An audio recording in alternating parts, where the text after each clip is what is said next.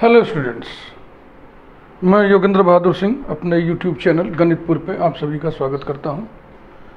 मेरा मिशन है तेरा तुझको अर्पण। इस मिशन के अंतर्गत मैं हायर एजुकेशन मैथमेटिक्स के टेक्स्ट मटेरियल्स पर वीडियोस बना करके अपने इस चैनल पे अपलोड करता हूँ। और ये स्टूडेंट्स के लिए एक अपॉर्चुनिटी है फ्री ऑफ़ कॉस्ट कोई फ़ीस नहीं। इस चैनल से आप जुड़िए, औरों को भी जोड़िए, जो बीएससी कर रहा हूँ, आपकी जानकारी में हूँ। हर चैप्टर के लिए हम एक प्लेलिस्ट बनाते हैं। और फिर वीडियो वाइज आर्टिकल्स को डिस्कस करते चलते हैं एग्जाम्पल्स आपके सामने रखते चलते हैं। एग्ज़ाम्पल सेलेक्ट करने में हमारा छत्तीस वर्षों का एक्सपीरियंस काम आता है। इस तरीके से हम एग्ज़ाम्पल सेलेक्ट करते हैं कि सारा कोर्स कंटेंट कवर हो जाए। और एग्जामिनेशन पॉइंट ऑफ़ व्यू से भी वो एग्जाम्पल्स महत्वपूर्ण हो। हमारे इस चैनल पर देखो, हज़ारों वीडियोस हैं। किसी एक वीडियो को खोजना बहुत मुश्किल काम है। किसी चैप्टर को खोजना मुश्किल काम है। इस काम आपको एक तरीका बताते हैं। मान लीजिए आप रेक्टिलीनियर मोशन खोजना चाहते हैं। Rectilinear motion. गणितपुर, ये टाइप करिए। और फिर सर्च करिए तो ये चैप्टर हमारे चैनल पे खुल जाएगा। कुछ भी आपको खोजना है। मान लीजिए थ्री डायमेंशनल ज्योमेट्री में स्फेयर्स खोजना है। तो आप स्फेयर्स टाइप करिए और बगल में गणितपुर टाइप करिए। फिर सर्च करिए, तब आपको मिल जाएगा। न्यू एजुकेशन पॉलिसी 2020 के तहत सेमेस्टर वाइज यदि आप मटेरियल खोजना चाहते हैं तो आप BSc first semester Ganitpur type करिए। BSc first semester Ganitpur type करिए एक वीडियो खुलेगा। उस वीडियो में फ़र्स्ट सेमेस्टर की सा, का सारा मटेरियल सारा सिलेबस रहेगा और उस सिलेबस के सपोर्ट में कौन कौन सी प्लेलिस्ट आपको देखनी है उसकी सूची दी रहेगी। वो सूची आप कागज़ पर लिख लो फिर एक एक खोज खोज के देखते रहो। ऐसे ही है सब। डायनामिक्स ऑफ़ पार्टिकल्स मैकेनिक्स का एक ब्रांच है, उस ब्रांच का ये चैप्टर है। Motion of particle of varying mass mass vary करे मोशन के साथ मास वेरी करे। मास घटे या मास बढ़े। जैसे कश्मीर में स्नोफॉल है, मकान का जो छत है रूफ टिन का होता है ना, और ढलुआ होता है स्लेंट उस पर मोटी सी बर्फ़ जम गई है। अब वो जब पिघलेगी तो मोशन में आ जाएगी और साथ ही साथ बर्फ़ पिघलता जाएगा तो मास भी वेरी करेगा। एक तो ये एग्ज़ाम्पल हो गया। दूसरा एग्ज़ाम्पल है, मान लीजिए जाड़े का सीज़न है और बड़ा ही कंडेंस्ड फॉग है। एक पार्टिकल रेन ड्रॉप गिर रहा है और जब गिर रहा है, मोशन हो रहा है रेन ड्रॉप है ड्रॉप है तो पार्टिकल है और ह्यूमिडिटी के कारण कंडेंसेशन के कारण उसमें नमी ऐड होगी ड्रॉप में तो उसमें मास गेन होगा। ऐसा ही है। कोई प्लेन जा रहा, उसमें से एक आदमी कूद पड़ा, मास चेंज हो गया। तो पार्टिकल का हम जो है मोशन देखेंगे, बॉडी का नहीं। पार्टिकल का मोशन जिसमें मास वेरी करे तो सबसे पहला काम हम लोग इक्वेशन ऑफ़ मोशन निकालेंगे।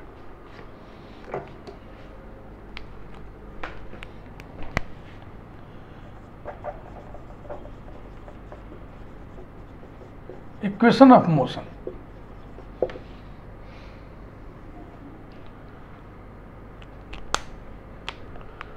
तो रेस्ट से हम स्टार्ट करें, ताकि इनिशियली वेलोसिटी ज़ीरो हो टाइम ज़ीरो हो टी ज़ीरो हो ठीक है ना?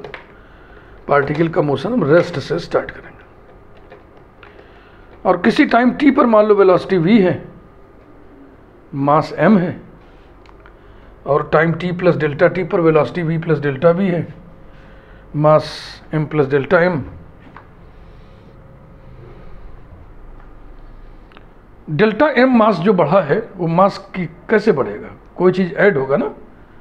पार्टिकल का जो मास था, उसमें कुछ ऐड होगा। तब delta mass, delta M mass add होगा। अब डेल्टा एम मास जो ऐड होगा, पार्टिकल के मास एम में, उसकी दो शर्तें हैं। कि डेल्टा एम मास खुद वेलोसिटी से चल रहा है और फिर ऐड हो गया, चिपक गया मास एम पार्टिकल के साथ। और या तो मास एम ने डेल्टा एम मास जो एक्वायर किया, वो रेस्ट से एक्वायर किया। जैसे रेन ड्राप है कोहरे में जब नीचे गिर रहा है तो जो कंडेंसेशन के कारण रेन ड्राप मास गेन करेगा, जिससे गेन करेगा, वो मोशन में नहीं है, वो पार्टिकल स्थिर है। और एक ये है कि मान लीजिए पार्टिकल मूव कर रहा है मास एम का पार्टिकल मूव कर रहा है डेल्टा एम मास भी मूव कर रहा है, जो इससे आके चिपक गया डेल्टा टी टाइम के बाद। तो ये दो स्थितियाँ होती हैं। शुरू करते हैं। Let M be the mass small M be the mass and small V the velocity of a moving particle of a moving particle at time t. Let v plus delta v be the velocity of the particle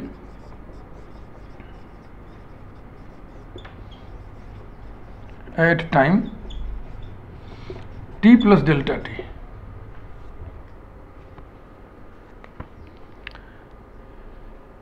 ठीक? ये general सी बातचीत हो गई। अब हम मास increment की बात करने जा रहे हैं। Let there be an increment let there be an increment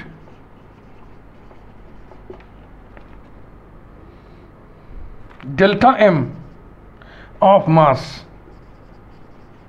bracket में लिख लो in time delta T and let this mass and let this mass be moving with velocity capital V be moving with velocity capital V M mass जिस delta M मास को acquire करेगा, वो delta M mass खुद velocity we से move कर रहा है। और डेल्टा टी टाइम के बाद वो चिपक गया है एम से। तो M M plus delta M हो गया। Then the increment in momentum then the increment in momentum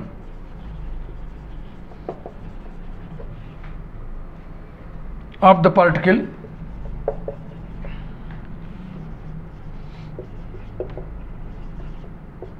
in time delta t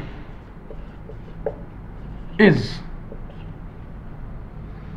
small M M into V momentum होता है इंक्रीमेंट इन मोमेंटम हम निकाल रहे हैं। पहले एम था, फिर डेल्टा एम भी जुड़ गया। चेंज कैसे निकालेंगे? देखो M into V plus delta V हो गया माइनस एम इंटू वी था। तो ये तो एम के हिसाब से हो गया, जो एम मास का पार्टिकल मूव कर रहा है। फिर डेल्टा एम भी मूव कर रहा है। डेल्टा एम की इनिशियल वेलोसिटी थी कैपिटल वी लेकिन डेल्टा टी टाइम के बाद जैसे ये मास एम है, ये मूव कर रहा है, ये मूव कर रहा है। डेल्टा टी टाइम इंटरवल के बाद इसमें एक मास ऐड हो जा रहा है। कौन सा मास डेल्टा एम ये जो है, इसमें ऐड हो जा रहा है। तो डेल्टा टी टाइम के बाद मास हो गया एम प्लस डेल्टा एम तो एम का ये हिसाब रहा और डेल्टा एम का हिसाब ऐसे लिखो। डेल्टा एम जब delta M mass M mass से एड एडजॉइंट होगा, जुड़ जाएगा तो उसका भी वही हो जाएगा। जैसे मान लो वी वेलोसिटी से एक प्लेन जा रहा है। वी वेलोसिटी से कोई और चीज़ मूव कर रही है। तो जब वो चीज़ प्लेन से सट जाएगी तो उसका भी वेलोसिटी वही हो जाएगा जो प्लेन का है। तो डेल्टा टी टाइम के बाद जो वेलोसिटी हो गई, v plus delta V minus जो थी डेल्टा एम की, वो थी कैपिटल वी ये। इसमें वी वी कैंसिल हो गया और कुल मिला के आ गया M delta V plus V delta M V delta M minus capital V delta M neglecting the small quantity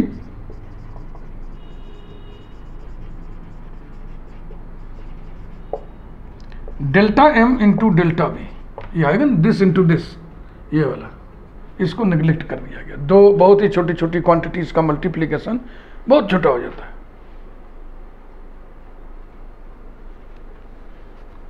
equals to देखो, ये दोनों मिलके हो जाएगा। डेल्टा ऑफ़ एम वी हो जाएगा कि नहीं? देखो, M delta V plus V delta M minus capital V delta M. Number one तो मुझे विश्वास है कि आपको अभी तक की बातें समझ में आई होंगी। ये स्टेप थोड़ा इंपॉर्टेंट है, यहाँ संभल के लिखना, इसीलिए आपको बहुत समझाए हम और अब आगे की यात्रा बहुत ही एनालिटिकल है मैथमेटिकल है।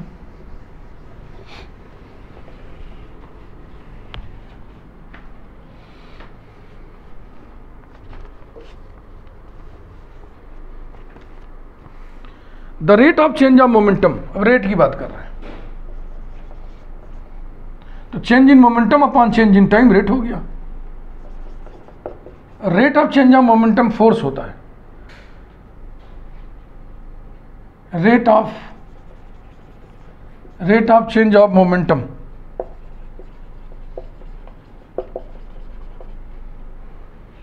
बराबर। Delta M V upon delta T minus capital V delta M by delta T taking the limit या एक स्टेप और बढ़ा लो implies that rate of change of momentum को कैपिटल पी लिख दो. Equals to delta of M V upon delta T minus capital V delta M by delta T काम where capital P is the force गति के कारण जो बल उत्पन्न होता है।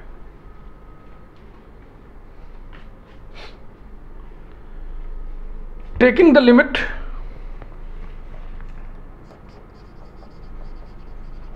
delta T tends to zero limit ले लेंगे तो टी टाइम पर स्पॉन्टेनियस हम जो भी डेटा हमको चाहिए वो निकल आएगा पी निकल आएगा। Taking the limit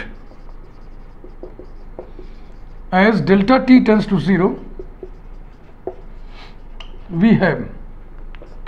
equals to D by D T of M V minus capital V D M by D T यही है equation of motion this is the equation of motion.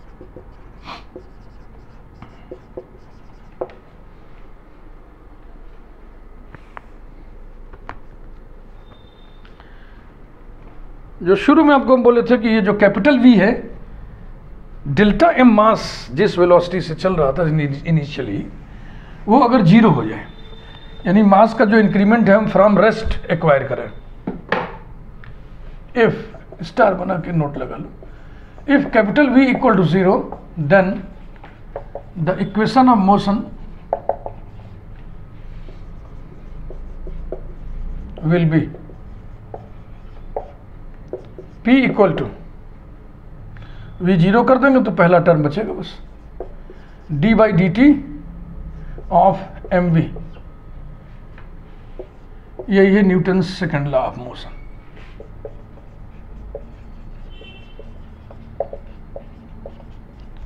Newton second law of motion अब आइए example उठाते हैं।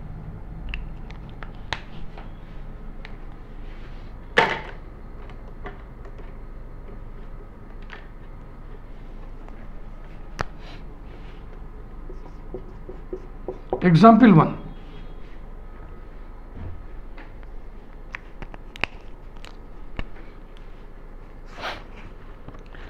spherical raindrop of liquid a spherical raindrop वर्षा की बूंद rain drop of liquid falling freely in a vapor. Falling freely in a vapor.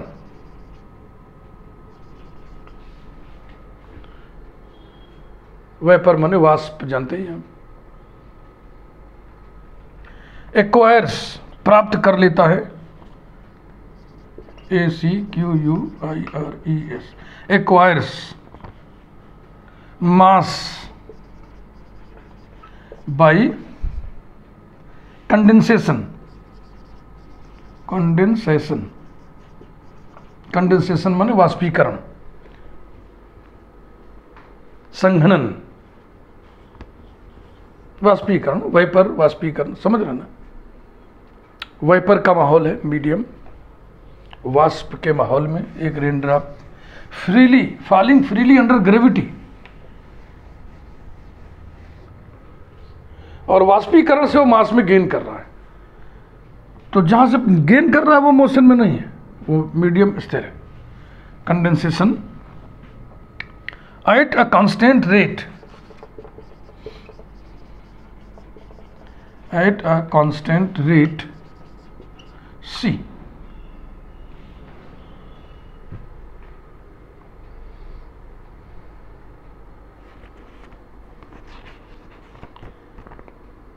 rate of gaining, rate of acquiring mass is constant. Rate of acquiring mass is constant. तो T time में कितना mass acquire कर लेगा? C T ये इसका मतलब है। Question पूरा किया जाए और पैराग्राफ बदल के लिख रहे हैं show that the velocity after falling from rest show that the velocity after falling from rest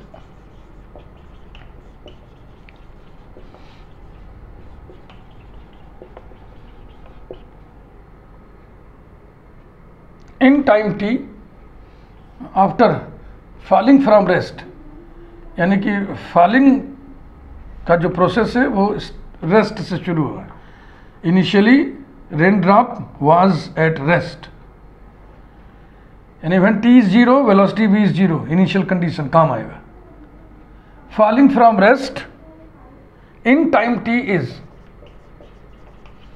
in time T is one by two G T one plus capital M upon M plus C T where capital M is the initial mass. Where capital M is the initial mass of the drop. Rain drop या drop सिर्फ़ लिख दें, बात स्पष्ट है। तो question लिखते लिखते क्या क्या चीज़ें सामने आ गई। एक तो ये है कि आर्टिकल में जो डेल्टा एम की इनिशियल वेलोसिटी कैपिटल वी थी, वो इसमें नहीं है। मास जो एक्वायर कर रहा है रेन ड्रॉप वो कंडेंसेशन से कर रहा है। फ्रॉम रेस्ट कर रहा है। मास जहाँ से ले रहा है, वो रेस्ट में है। तो कैपिटल वी ज़ीरो हो गया। तो इतना लिख दिया जाए पहले, यहीं शुरू किया जाए। और देखो क्या निकालना है। वेलोसिटी और टाइम टाइम टी पर कितनी वेलोसिटी यानी कि इक्वेशन ऑफ़ मोशन ही तो निकालना है।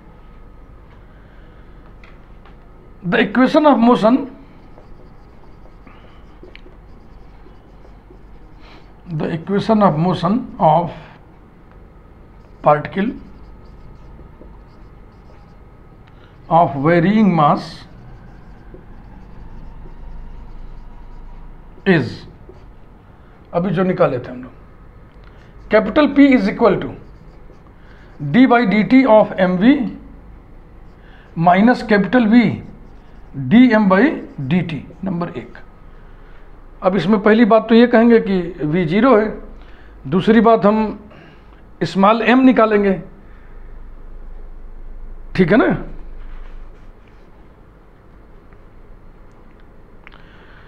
कैपिटल वी मालूम है। स्मॉल एम हम निकाल लें। बस। और कैपिटल पी की बात हम करेंगे। तीन चीज़ों की बात इसमें करनी है। Capital P force small m small m क्या चीज़ है? Mass of the particle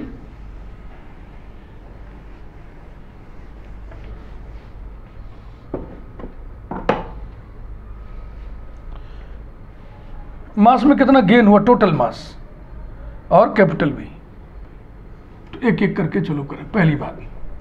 Since the raindrop is falling freely under gravity is falling freely under gravity therefore जो फोर्स एग्जर्ट होगा पी वो बराबर होगा कितना? M ji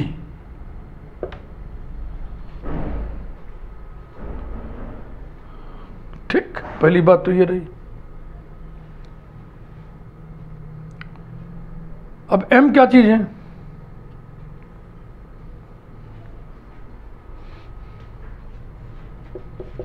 Given that the rate of gaining mass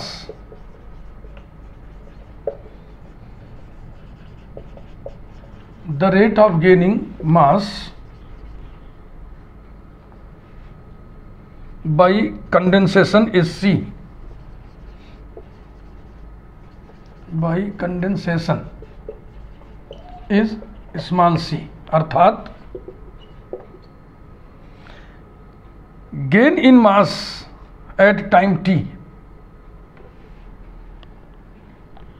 that is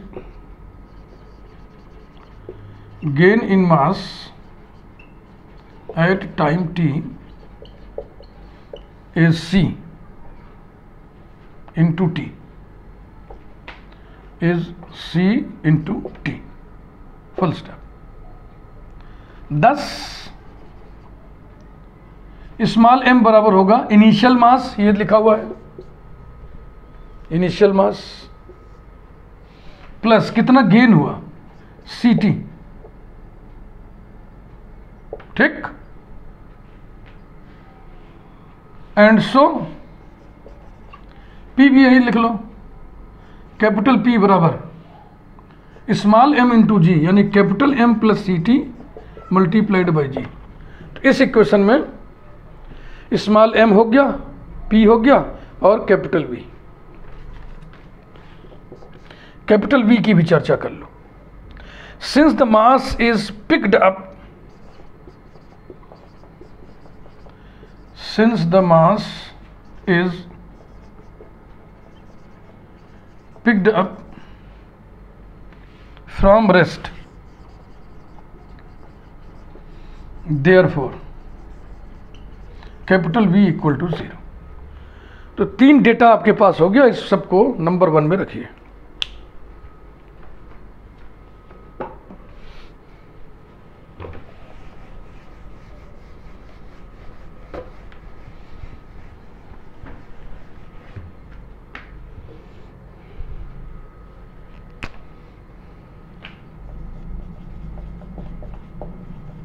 Putting m equal to capital M plus Ct P equal to capital M plus Ct multiplied by G and capital V equal to 0 in 1 we get capital M plus Ct multiplied by G equals to d by dt of m v capital M plus c t multiplied by v bracket बंद.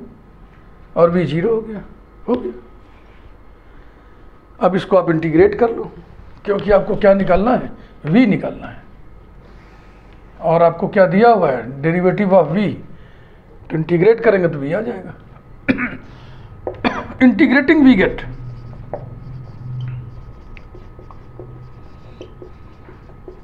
integrating v get capital M plus c t whole square into g upon two और T का coefficient सी है तो उससे भाग देंगे integral में।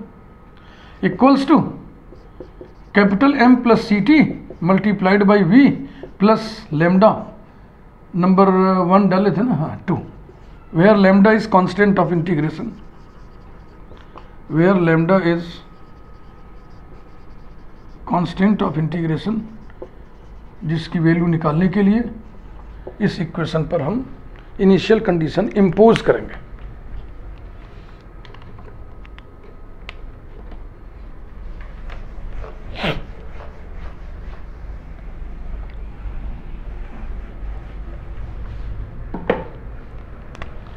Initially v equal to 0 at t equal to 0 इन्हें इंपोज करना है टू पे। Applying these conditions to two we have v zero रखेंगे तो दाहिने तरफ़ कुछ बचेगा नहीं, सिर्फ़ लेमडा रहेगा। लेमडा इज़ इक्वल टू इधर बाई तरफ़ टी ज़ीरो कर दिया तो capital M square g upon two c putting it in two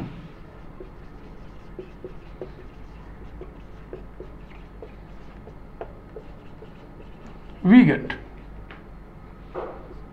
capital M plus c t whole square into g upon two c equals to capital M plus c t multiplied by v plus capital M square g upon two c हो गया ये result निकालना है, लेकिन इसको अगर होता कि वेलासिटी के लिए एक्सप्रेशन निकालते तो निकालो तो हम यही छोड़वा देते लेकिन क्वेश्चन का टोन देखिए, उसमें लिखा show that this will be the expression तो वही अब शो दैट वाले के चक्कर में आइए पड़ा वी बराबर करके निकालना है ना।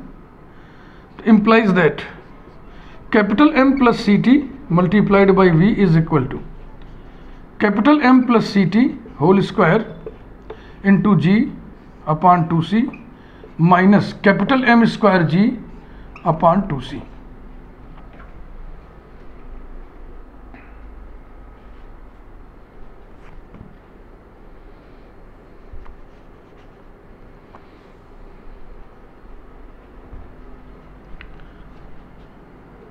Equals to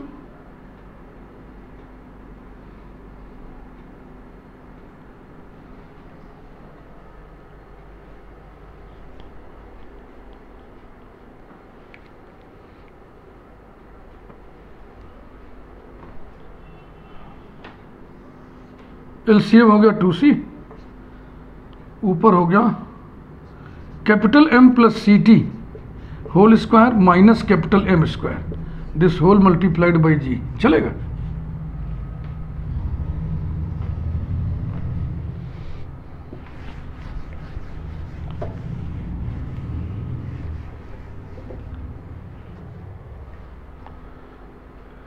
Implies that v equals to dividing line ऊपर देखो यहाँ होल स्क्वायर खोलोगे ना तो एम स्क्वायर कैंसिल हो जाएगा। तो क्या क्या बचेगा? C square t square plus two capital M c t upon two c into capital M plus c t ऊपर नीचे सी कैंसिल हो रहा है। कैंसिल करिए। C t square plus two capital M t upon twice of capital M plus c t into g कहीं था, छूट रहा है, हमको लग रहा है। कहाँ छूट रहा है बताओ, कहाँ छोड़े? ये, यहाँ इंटू जी। अचानक रिज़ल्ट याद आ गया हमें। जी कहाँ छूट रहा है भाई? Into g. One upon two g t था शायद रिज़ल्ट में। नीचे से टू हटा लिए, ऊपर से जी टी हटा लिए। यानी जी तो है ही है। इसमें से टी और निकाल लिए तो क्या क्या बचा? C t plus two capital M आ गया। Upon m plus c t इससे इसमें भाग दोगे तो रिज़ल्ट आ जाएगा। देखो, ऐसे सेट कर लो। One upon two g t bracket में। Capital M plus c t और प्लस कैपिटल एम हो गया two m upon capital M plus c t final step लिख रहा है, इसलिए बाया साइड भी उतार लो। V equal to one by two g t bracket में वन इससे डिवाइड कर दिया one plus capital M upon capital M plus c t time t पर वेलोसिटी के लिए एक्सप्रेशन गई विच गिव्स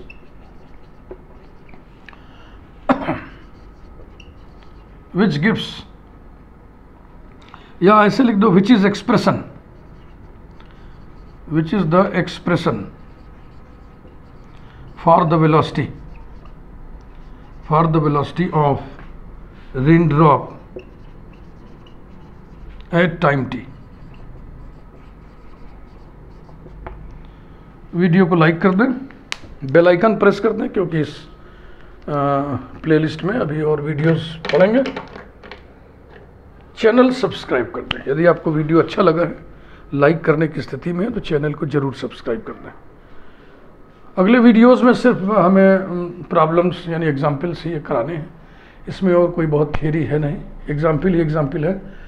और वेरिंग मास का ये चैप्टर थोड़ा सा टफ होता है, क्योंकि मास वेरी कर रहा है ना।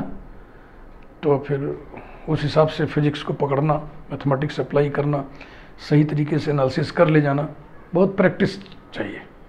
तो अधिक से अधिक हम इसमें एग्जाम्पल्स आपको करा देंगे। Thank you